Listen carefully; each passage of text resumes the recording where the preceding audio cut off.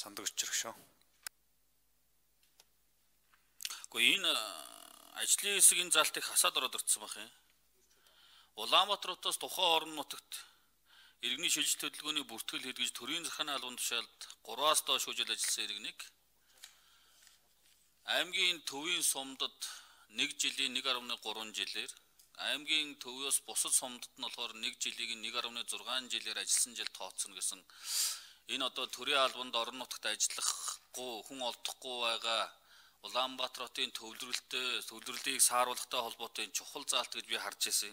Гэсэн чи одоо ажлын хэсэг дээр хасахаар оруулаад ирсэн байх юм. Тэгээд энэ ажлын хэсэгтээ ямар юу асуудал яриад ингээд хасахаар оруулаад ирчвэ гэдгийг ажлын хэсгийн дараагаас сууя. За ажил хэсгийн дарга Дулан дөржин дахь тусрын гишүү асуултанд хариулнаа. За дахь тусрын гишүүний микрофоныг өгье. За энэ 23 эсгэдэг заалтыг ажлын хэсгээр яриад тэгээд гасах санал гаргаж байгаа. За нэгдүгээрт энэ бол зөвхөн шатлан дэвших тогтолцоонд шаардлага хэрэгтэй гэж хууль санаачлагч оруулж ирсэн байгаа.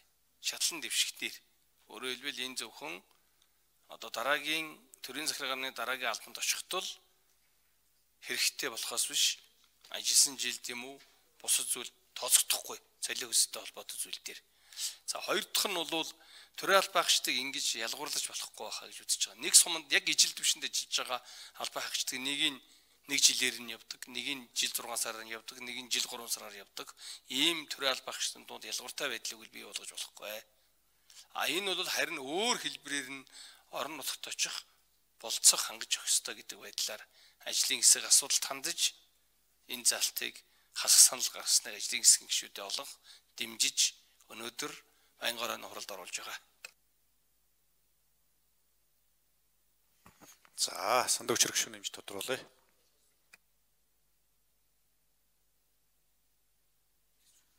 За ингээд төрийн албаагчдыг ялгаатай үзэж болохгүй гэдгээр ингээд хасж байгаа юм байна. Тэгвэл энэ орон нутагт чинь ажиллах боловсон хүчин тун ховор байгаа. Тогтооход тун ховор байгаа. Тэгэхээр өөр ямар хөшүүрэг байж болох вэ? Эдийн засгийн, нийгмийн, орчин нөхцөлийн тийм нөхцөл байхгүй байна. Тийм учраас энэ орон нутагт ажиллаж байгаа төрийн албаагчдыг за орон нутгийн нэмэгдэл гэдэг өгдөг болсонд нь одоо сайшаалтай байна. Гэх мэтлэн өөр одоо ямар тэн тогтоох барих ийм одоо хөшүүрэг байна вэ?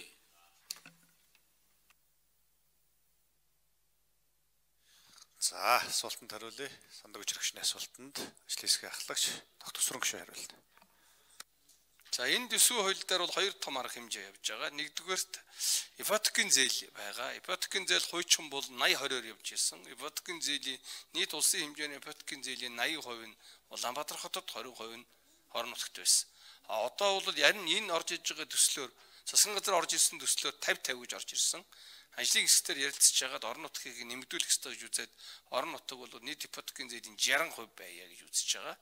Тэгэхээр нэгдүгээр тул ипотекийн зээл буюу орон нутагт орон сууц барих энэ одоо нөхцөлийг дэмжиж ийж тэн төрийн албан хаагч ажиллах болцоо бүрднэ гэж үзэж байгаа. За хоёр дахь юм нь бол орон нутгийн нэмэгдлийг бий болгосон. Орон нутгийн нэмэгдлийг аймгийн төвдөр 20%, а сумандар ажиллаж байгаа бол 40% болгож нэмэгдүүлж байгаа. Энэ бол хоёр дахь том хөшөөрөг болгож үзэж байгаа. За гурав дахь нь өнгөрсөн жил төрийн албаны хуулинд энэ жил энэ жил төрийн албаны хуулинд өөрчлөлт орсон. Энэ өөрчлөлтөөр суманд ажиллаж байгаа, ажилд орж байгаа төрийн албан хаагчдаар 50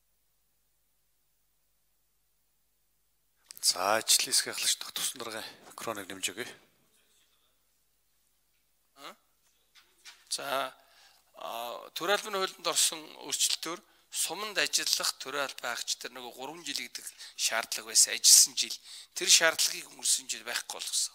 Өөрөөр хэл ажилласан жилийг байхгүй болгох эсвэл нөгөө шалгалтгүй болгох ч юм уу ийм хэлбэрээр л төрийн албан хаагч ажил нөхцөлийг ажиллах байдлыг тэнд ажилуулна гэхээс биш яг зэрэг ажиллаж байгаа хүмүүсийг өөр өөр ялгууртай юм бол байж болохгүй гэж байгаа. Харин энэ удаагийн төсөө хуулиар нэг сайн зүйл нь юу байсан гэхээр орон нутгад ажиллаж байгаа төрийн албаагч ялгуургүй болгож байгаа. Хуучин зарим нутгийн нэмэгдэлтэй зарим нэмэгдэлгүй. Тэгээ энэ миний бүгдийг жигдэлсэн. Суманд л ажиллаж байгаа бол адилхан орон нутгийн нэмэгдэл авна.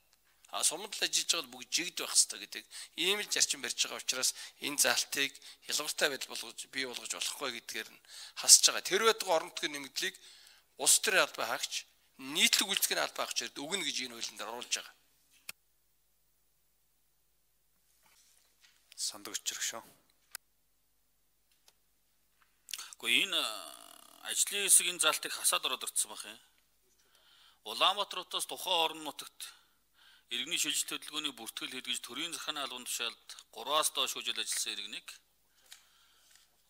аймгийн төвийн сумдад 1 жилийн 1.3 жилээр аймгийн төвөөс бусад сумдад нь болохоор 1 жилийг 1.6 жилээр ажилласан жил тооцсон гэсэн энэ одоо төрийн албанд орон нутагт ажиллахгүй хүн олдохгүй байгаа Улаанбаатар хотын төвлөрөлтөө төвлөрлийг сааруулахтай холбоотой чухал заалт гэж би харж байсан. Гэсэн чи одоо ажлын хэсэг дээр хасахаар оруулаад ирсэн байх юм. Тэгээд энэ ажлын хэсэгтээ ямар юу асуудал яриад ингээд хасахаар оруулаад ирчвэ гэдгийг ажлын хэсгийн дараагаас сууя.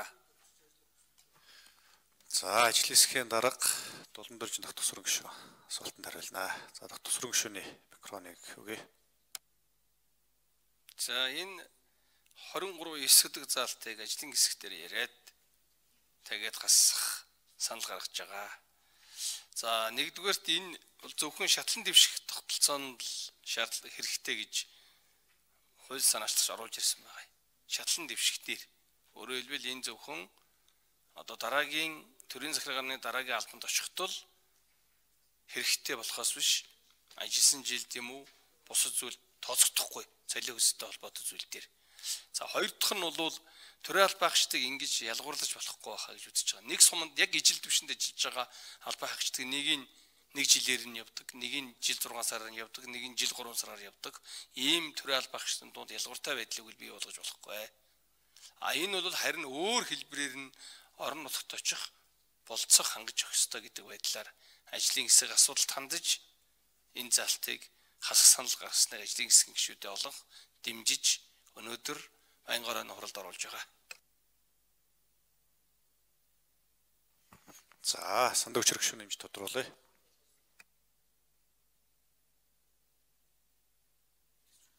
За ингээд төрийн албаагчдыг ялгаатай үзэж болохгүй гэдгээр ингээд хасж байгаа юм байна.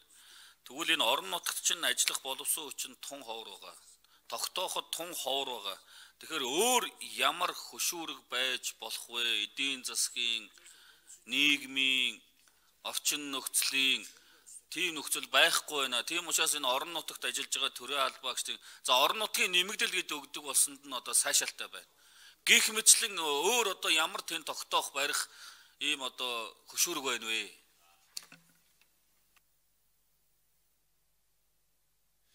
За асуултанд хариулъя. Сандаг өчрөгчний асуултанд ажлын хэсгийн ахлагч доктор Сүрэн гişүү хариулна. За энэ төсвийн хууль дээр бол хоёр том арга хэмжээ явж байгаа. Нэгдүгээрт ипотекийн зээл байгаа. Ипотекийн зээл хуучин бол 80 20-оор явж ирсэн. Ипотекийн зээлийн нийт улсын хэмжээний ипотекийн зээлийн 80% нь Улаанбаатар хотод 20% нь хорон нутагт байсан. А одоо бол ярин энэ орж иж байгаа төслөөр засгийн газар орж ирсэн төслөөр 50 50 гэж орж ирсэн ажлын хэсгээр ярилцж байгаад орон нутгийг нэмэгдүүлэх ёстой гэж үзээд орон нутаг бол нийт ипотекийн зээлийн 60% байя гэж үзэж байгаа. Тэгэхээр нэгдүгээр ипотекийн зээл буюу орон нутагт орон сууц барих энэ одоо нөхцөлийг дэмжиж ийж тэн төрийн албаа хаагч ажиллах болцоо бүрднэ гэж үзэж байгаа. За хоёр дахь юм нь бол орон нутгийн нэмэгдлийг бий болгосон. Орон нутгийн нэмэгдлийг аймгийн төвдөр 20%, а сумандар ажиллаж байгаа бол 40% болгож нэмэгдүүлж байгаа. Энэ бол хоёр дахь том гүшүүр боломж үзэж байгаа. За гурав дахь нь өнгөрсөн жил төрийн албаны хуулинд энэ жил энэ жил төрийн албаны хуулинд өөрчлөлт орсон. Энэ өөрчлөлтөөр суманд ажиллаж байгаа, ажилд орж байгаа төрийн албан хаагчдэр 50 За ажлын хэсгийн ахлагч тогтсон дараагийн микрофоныг нэмж өгье. За төрийн албаны хуулинд орсон өөрчлөлтөөр суманд ажиллах төрийн албан хаагч нар нөгөө 3 жил гэдэг шаардлага байсан ажилласан жил тэр шаардлагыг өнгөрсөн жил байхгүй болгосон. Өөрөөр л ажилласан жилийг байхгүй болгох эсвэл нөгөө шалгалтгүй болгох ч юм уу ийм хэлбэрээр л төрийн албан хаагч ажил нөхцөлийг ажиллах байдлыг тэнд ажилуулна гэхээс биш яг зэрэг ажиллаж байгаа хүмүүсийг өөр өөр ялгууртай юм бол байж болохгүй гэж байгаа.